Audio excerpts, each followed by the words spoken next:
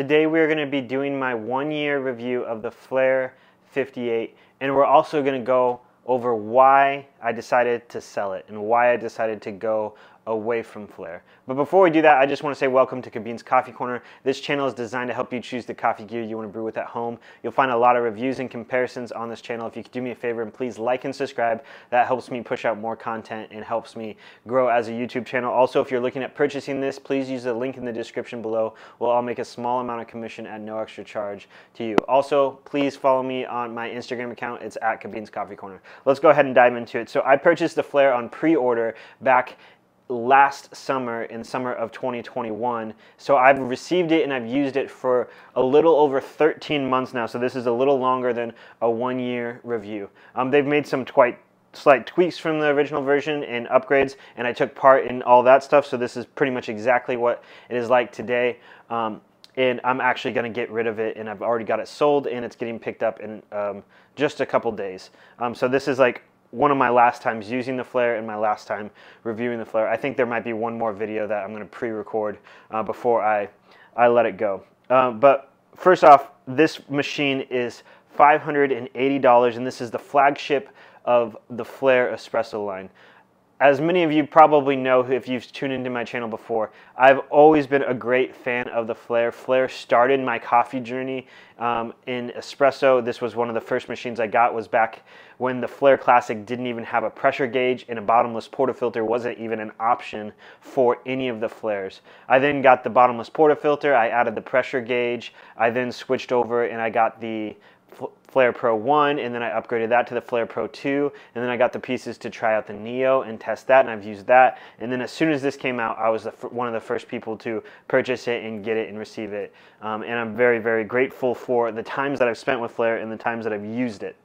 With all of the stuff that I've used it I've compared it with a Breville Dual Boiler, a Flair Pro, Rocket Apartamento, the El Rocio Czar which is a $4,000 machine and I really do feel like some of the best shots I've ever had came from this machine. So I want to go over a few features of it and kind of explain how it works, what it all comes with. Um, it comes with this little rubber drip tray.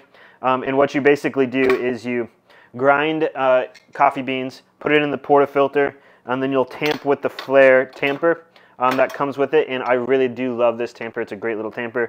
Um, as soon as you're done with that, you're going to put the Flair 58 puck screen on it. Um, then you're going to lock it in just like that. And you're going to lift up the handle just a little bit, and this is going to pull up the stem of the pressure gauge. And when that this little stem gets pulled up, it allows water to pass through. So you're going to lift this up just a tad, fill up the water all the way up to the top, and then you're going to pull the handle all the way up and pull down for the amount of pressure that you want and for the yield that you come out. And then when you're done with that, you're going to pull up the handle again and purge out the rest of the water into a new cup. One of the things that I think makes Flair an incredible company and an incredible machine, especially for those who are starting out, is the fact that they're relatively cheap because they're relatively cheap because they're all manual and there's no electrical components outside of this one and it has the ability to allow you to control pressure. So in other words, what that means is I can put coffee in and I can brew at two bars of pressure, allowing um, the coffee grounds to be fully saturated. And I can do that for as little, as little and as much time as I want. Then I could slowly ramp up to six bars, seven, eight, nine, whatever my desire is, slowly ramp back and adjust that in every how, way I want to. So this is a machine that you can really, really grow with and really in a lot of terms doesn't mean you ever really need to upgrade it. This one is particularly special because this was the first one that included a heating element. You click this button three times and you can change the settings between low, medium, and high and adjust how you want the how much heat you want this to heat up with. Um, but that does come the expense of having this massive, um, looks like an Xbox 360 power brick that you have to plug into the wall, and then this plugs into this portion of it, and then you have to click the button in order to heat it up, and it takes about 10 minutes to get fully heated is what they recommend. Um, I added this feature on here, which is a Switchbot, which allows me to basically remotely press this button automatically from uh, wherever I'm at in my house uh, as long as I'm in Bluetooth range of it.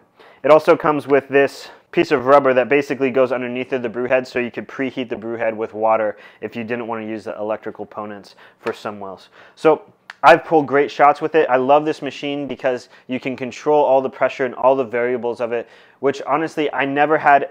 The only machine that I've ever used that allows you to fully control pressure came at the expense of a $4,000 machine, which is the El Yozar from Prima Coffee.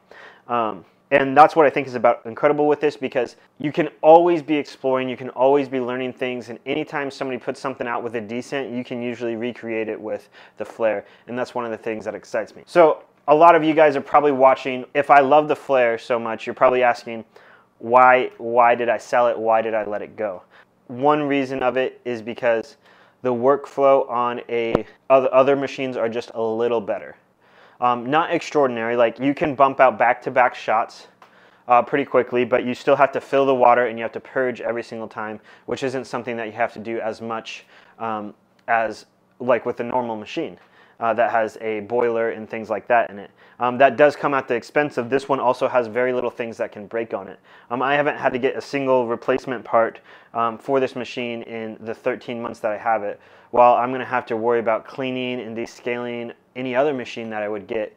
Um, and who knows what else could go wrong on the hundreds and hundreds of parts that are on the inside and all the wires and all that stuff. So there's there's less that can go wrong with it, which makes it really appealing. And it's super budget friendly at $580. Might seem like a lot, but this really does produce sh shots that are as great as $4,000 machines out there. Um, so I am getting rid of this because the workflow is just a little bit better when you have multiple people and uh, for milk drinks.